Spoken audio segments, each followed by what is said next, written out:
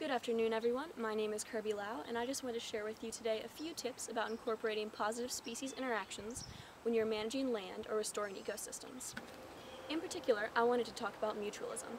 Mutualism is a type of symbiotic relationship in which both species that are involved in the relationship benefit equally from being involved. Let me give you an example.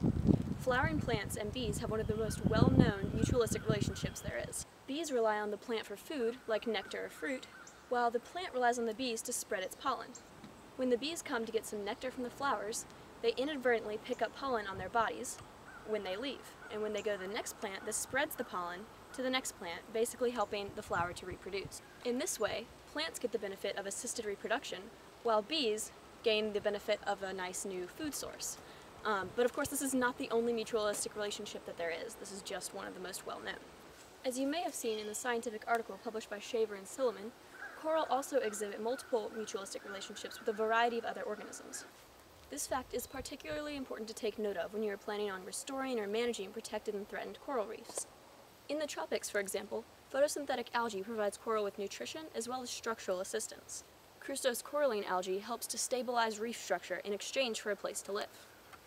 Reef sponges also use the coral reefs for home and help the reefs by cycling nutrients in the ecosystem. Sometimes coral will form symbiotic relationships with other organisms that will protect it from predators, like the predatory sea star in French Polynesia.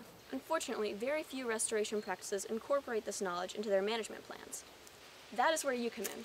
We know that many fish, crabs, algae, sponges, and more can benefit themselves from the presence of corals, but we also now know that corals can benefit from the presence of these other animals, and that they can help the corals survive.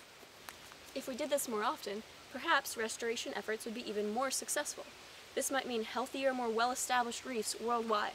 We've seen the benefits of mutualism in action during studies like a 2015 study that examined the effect of fish presence on corals. It proved, unsurprisingly, that the presence of fish was correlated with high coral survivorship and growth, simply because of the role of the fish in nutrient cycles. This practice can be applied in other habitats as well, such as this one, which is a mix of forest and farmland. Mutualisms can occur in every type of habitat, from tundra to rainforest to oceanic, pretty much anything that you can imagine. If we can learn to identify those relationships prior to making conservation plans, we can better predict the needs of the organisms that we are actually trying to conserve. For instance, this might mean ensuring the presence of sea anemones in clownfish habitats, or simply just recognizing the relationship between spider crabs and the algae that helps to protect them. This can save us lots of time and money when planning and managing restoration or conservation areas, and then in the end can result in healthier, happier, more efficient ecosystems. Knowledge is, in this case, certainly powerful. Thank you so much for taking the time to watch this, and good luck with all of your future projects.